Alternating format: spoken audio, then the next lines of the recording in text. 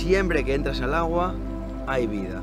Cada uno de estos buceos ha sido totalmente distinto. Y que te deja ahí meterte debajo, que te abraza con las alas, que es un momento ahí como de paz absoluto que te va desde todas hacia la derecha. Y siempre que uno llega aquí, tiene encuentros espectaculares de otro planeta con fauna marina, como digo, de todo tipo.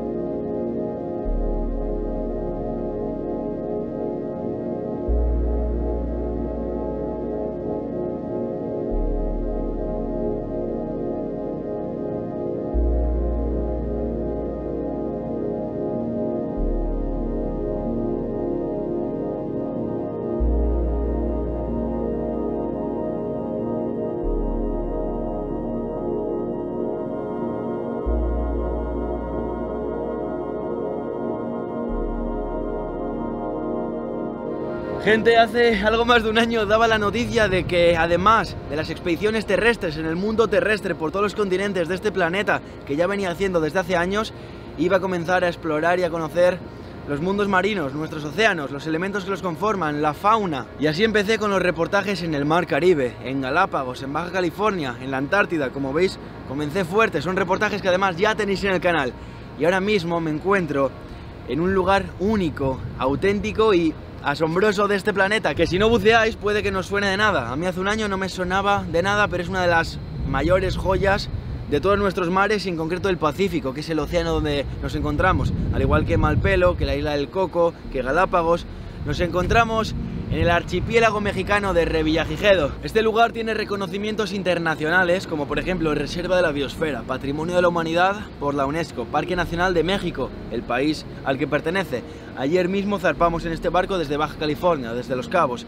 Algo más de 24 horas de navegación y hemos llegado hoy mismo. Tenemos como una semana recorriendo las diferentes islas, como San Benedicto, que es en la que estamos, Socorro, que será la siguiente, y Roca Partida. El archipiélago se conforma de una isla más, que está mucho más alejada y la cual no vamos a visitar, así que va a ser explorando estas tres. Hoy mismo nada más llegar hemos podido hacer ya dos buceos, aquí mismo, debajo de donde estamos eh, anclados en estos momentos. Ha sido brutal este recibimiento entre mantas gigantes, tiburones de todo tipo pasando súper cerca. Los tiburones va a ser uno de los objetivos más claves de este lugar para comprender cómo viven y sobre todo por qué son tan importantes para nuestro planeta. Y para todo esto tenemos a dos personas, entre otras que conforman esta tripulación, que están al otro lado de la cámara.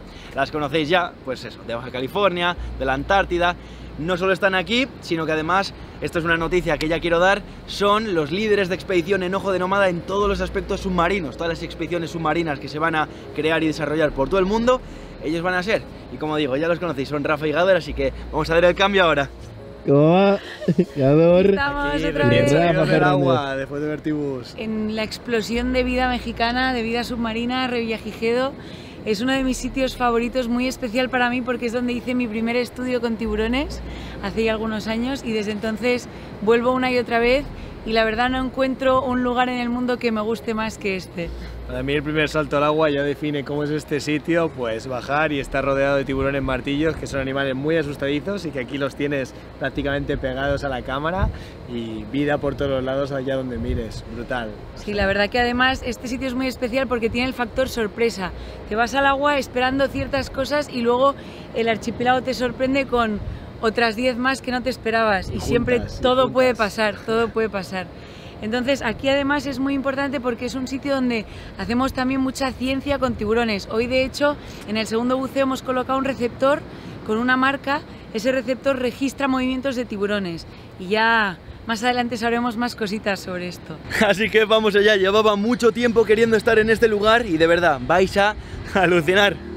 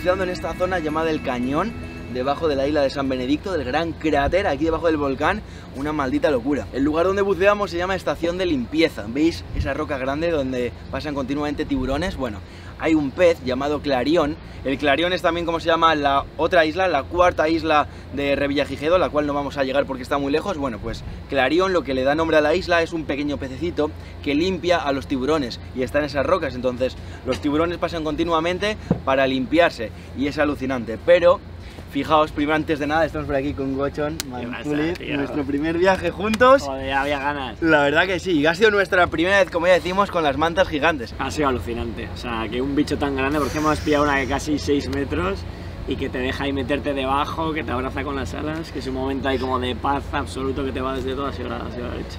Llegan a medir hasta 7 metros de punta a punta y además son muy juguetonas, son al final muy cercanas al ser humano porque ves la curiosidad, se lee la curiosidad, esa emoción que sienten también ellas, entonces te abarcan desde encima con esas alas gigantes, esos momentos de estar debajo con ese bicho gigantesco, le cosquillean las burbujas que uno, que uno va soltando y además Rafa está filmando el ojo de cerca, de cerca, de cerca. Eso sí que es flipante lo del ojo, ¿eh? Es como, eh, parece un ojo de mamífero en un pez Y lo que tienes ves. la sensación de que te ve y tal, es, es una pasada.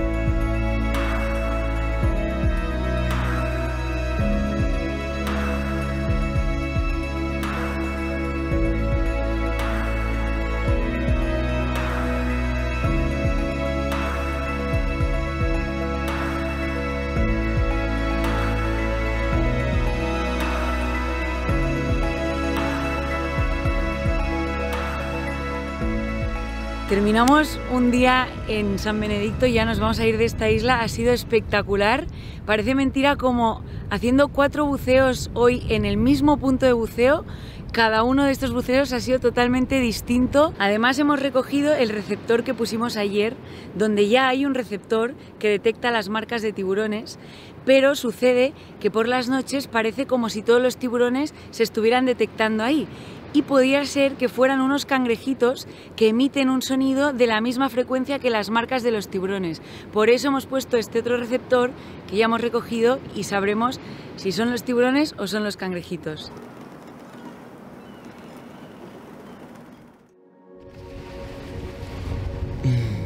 Buenos días. El barco ya no se mueve tanto, así que creo que hemos llegado ya tempranito, o sea, a las 7 y algo de la mañana. Creo que hemos llegado a Roca Partida, en la cual hoy vamos a bucear, ya veréis, uno de los lugares más potentes. Bueno, por la ventanita, por la escotilla, podemos confirmar que ya estamos parados, que sí que hemos llegado, así que desayunamos y el agua.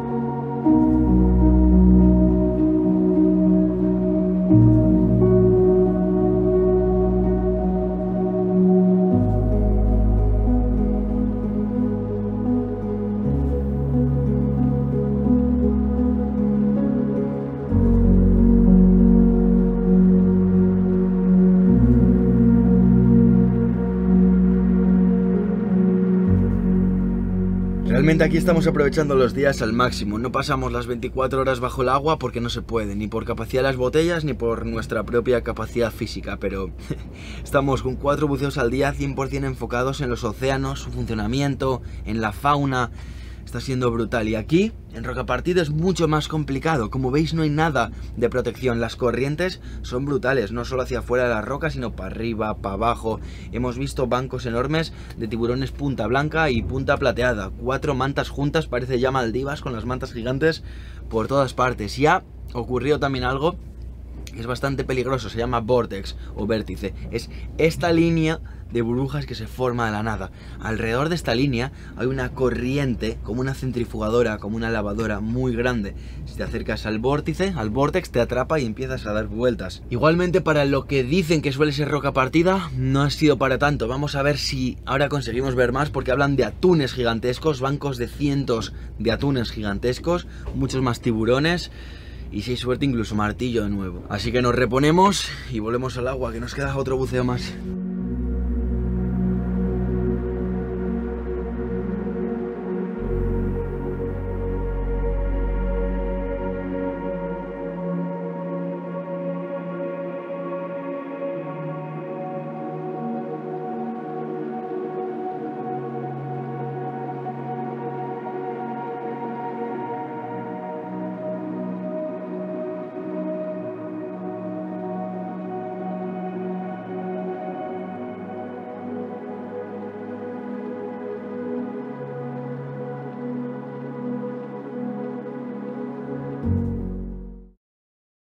Ayer nos tocó abandonar Roca Partida prontito después de tres buceos debido a que no hay ninguna protección en esa isla, si es que se le puede llamar isla.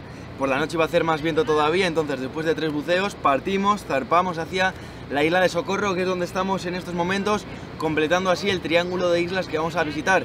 San Benedicto, Roca Partida, Socorro y después en un par de días volveremos a San Benedicto. Entonces, en los diferentes lugares, en las diferentes zonas en las que hemos estado buceando en estas islas, hemos podido encontrar animales, es decir, tiburones, mantas de distintos tamaños, con diferentes comportamientos. En Roca Partida, de hecho, por ejemplo, parecía que una pareja de tiburones se, estuvieran intentando aparear y lo mismo pasó con una pareja de mantas, entonces... Quiero que Gador os cuente un poquito sobre el estudio que hizo, fue uno de tus primeros estudios, ¿verdad? A través del cual se protegió la zona de estas islas, es decir, se protegía ya las islas concretas, ¿verdad? Pero no las zonas de paso entre las propias islas. Entonces, ¿cómo fue esto? Aquí en, en como ya has podido ver, está lleno de vida, muchas especies de tiburón. En concreto, este mi granito de arena, por así decirlo, fue con el tiburón punta plateada, que ya has visto que es una pasada. Muy bonito. Pues pasaba una cosa, en cada uno de los puntos de buceo de estas tres islas veíamos estos tiburones pero decíamos, a ver qué pasa, ¿cada isla tiene su propia población o son los mismos que se mueven por todas? Y para averiguar esto lo que hicimos fue un estudio de marcaje, marcar a los tiburones para que esos receptores como el del otro día lo detecten y saber cómo están utilizando las áreas.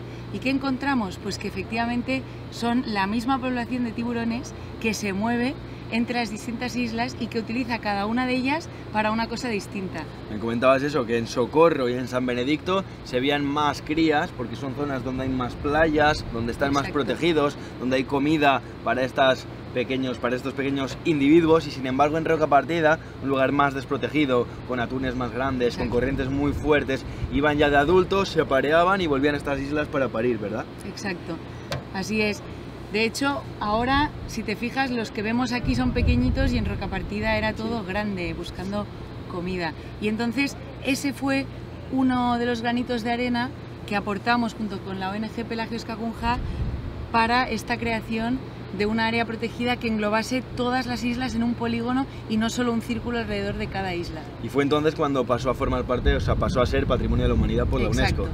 Como veis, súper interesante, no solo disfrutar, que ya es majestuoso, ¿no? Poder disfrutar debajo del agua de estas especies magníficas y además lo peculiar de Revillagigedo, que están todas juntas en un mismo buceo, sino además comprender las corrientes de estos océanos, comprender las migraciones, cómo se mueven y así saber muchísimo más, pues lo que digo, comprender cómo funciona todo aquí debajo. Entonces, estamos en Socorro, donde es típico los delfines, las escuelas con decenas de tiburones martillo y mantas también y muchísima más. Así que vamos a volver al agua y a ver qué nos depara tanto hoy como mañana que tenemos por aquí.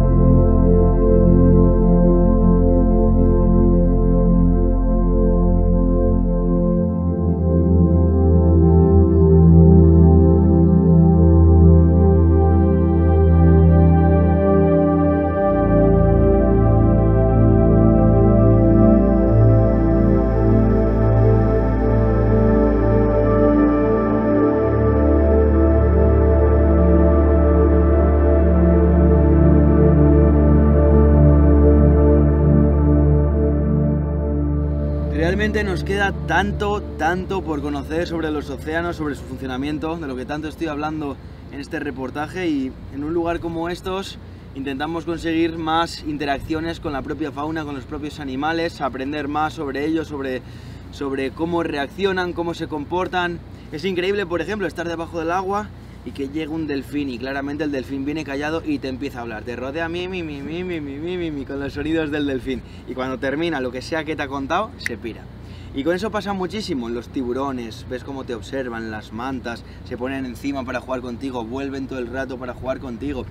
No son bichos que flotan, como cualquiera podría pensar, o sea, son interacciones claras y se ve que ambas partes están pensando. Otro de los momentazos también es cuando, cuando llega la noche porque el barco emite luz, al final se ve la luz de las ventanas, algunos focos, entonces esto, ¿verdad? Atrae al plancton.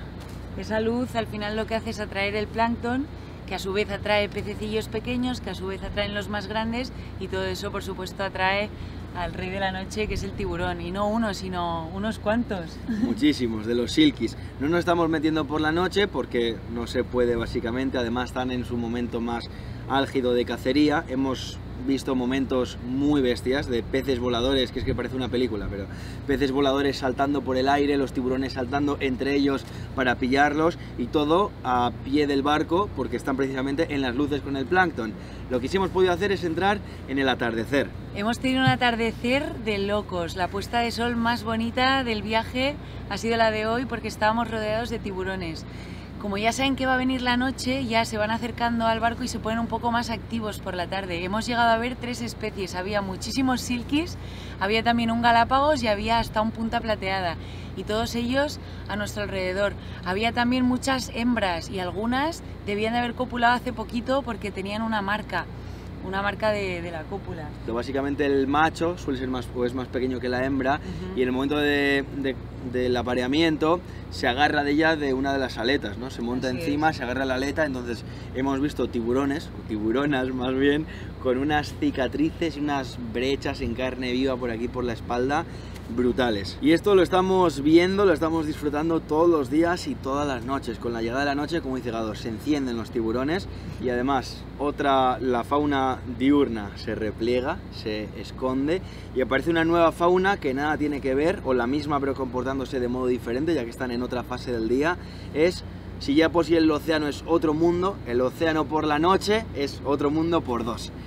Entonces, ahora ya sí que toca descansar un poquito y mañana nos volvemos para San Benedicto. Estamos Y ya soñar con nuestras- tiburones. Nuestras últimas horas, últimos momentos, últimos días en Revillagigedo.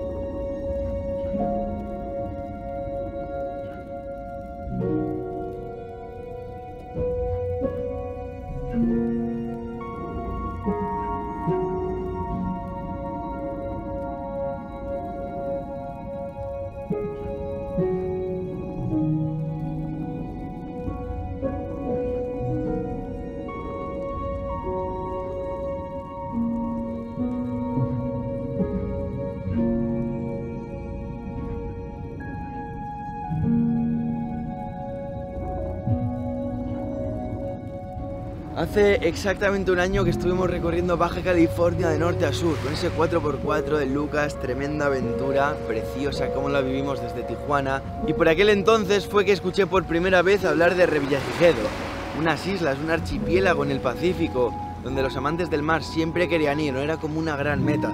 Revillagigedo, Revillagigedo, dije, ¿qué narices es esto? Un año más tarde he estado yo también allí buceando. Es increíble estar en un lugar como estos, llenos de vida. Siempre que entras al agua, hay vida. Siempre. El mar, por supuesto, es impredecible. Allí y en todos los lugares. Uno nunca sabe lo que se va a encontrar. desde la fauna más pequeña hasta la fauna más gigantesca. Uno nunca sabe y solo intentando comprender las grandes migraciones, eh, las zonas de vida, de caza, de descanso de los diferentes animales es que podemos intentar intuir. La realidad es que hemos tenido encuentros que se disfrutan de una manera muy especial. Intercambios incluso de métodos de lenguaje, como digo, los delfines parece que te hablan. Bueno, parece que fueran de ciencia ficción, pero no, los hemos vivido ahí en carne y hueso y en estos, en estos fondos oceánicos en las costas de Revillagigedo. En estos momentos hemos regresado a Baja California, donde, donde empezó todo esto. Nos encontramos en La Ventana, cerquita de La Paz. El año pasado también pasamos por La Paz, fue de hecho cuando conocí por primera vez a Rafa y a Gador. Y ya veis, un año más tarde, Revillagigedo, esta noche durmiendo en su casa y con todo preparado en Ojo de Nómada. El tiempo vuela, la verdad. Ese primer día que les conocí vinimos a La Ventana, que es donde nos encontramos en estos momentos, muy cerquita, una playa llamada Ensenada de los Muertos. El año pasado disfrutamos con un banco de móbulas que también fue de otro planeta. Este es otro de los lugares que durante todo el año te puede llevar una sorpresa fauna muy especial. No quiero decir nada para no gafarlo, pero vamos a probar suerte nuevo. Estar metiendo al agua las panguitas, así que nos terminamos de preparar. Estamos casi todo el equipo con el que hemos estado en Revillagigedo y al agua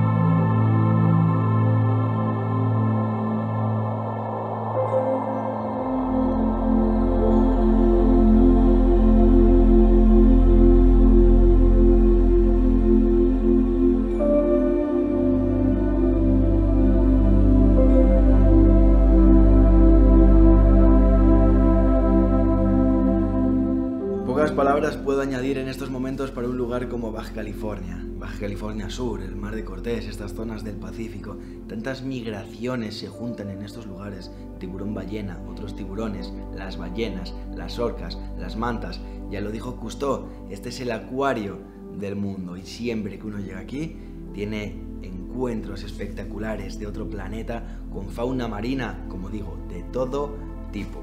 Hoy hemos estado de nuevo con los bancos de móbulas enormes, muchísimas cantidades, miles de móbulas bajo el agua y además saltando, como saltan un metro, un metro y medio por encima del agua. Y de repente hemos salido hacia afuera y nos hemos encontrado con una ballena azul. La ballena azul no es solo el mayor animal, el más grande de este planeta actual, sino el más grande de la historia de este planeta. Es más grande que los dinosaurios. Es un animal de otro mundo. Es, es difícil hacer esa idea hasta que uno lo contempla. Lo hemos podido ver tanto desde el aire como desde el agua.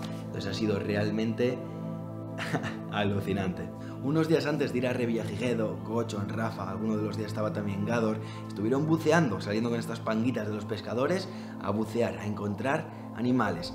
Lo que vieron fue alucinante. Varios días con ballena azul, varios días con orcas, uno de mis, una de mis metas que todavía no he podido cumplir. Y uno de los días las orcas cazaron delante de ellos una cría de cachalote. Entonces, parece no sé si una película, un documental o la ciencia ficción, pero de verdad, en este tipo de encuentros es que no tengo ni palabras. Donde solo me queda agradecer a Rafa y Gador, primero, bueno, ahora estamos en su casa también por esto, pero sobre todo por el viajazo, este organizado también por ellos, por las filmaciones. Rafa sobre todo lleva muchísimo filmando bajo el agua y todo esto es posible por ellos. Gocho, Nirati que está en la cámara, todos han hecho que lo pasemos de puñetera madre, buceando, fuera en el barco, así increíble. El resto de la gente con la que viajamos, la tripulación y todo, han hecho esto brutal, de verdad que brutal. Y me gustaría que me comentarais también en qué otros lugares os gustaría que continuara con esta serie recorriendo y explorando los mundos submarinos de este planeta. Quedan muchísimos lugares, muchísimas zonas que muy poca gente conoce, animales que muy poca gente ha tenido el gusto de convivir con ellos, aunque sea durante unos segundos. Y voy a continuar por este camino, recorriendo y explorando, conociendo los secretos, como digo, de las profundidades de estos mares y de estos océanos. Entonces espero que lo hayáis disfrutado y hasta la próxima, que llegará pronto. Gracias a todos.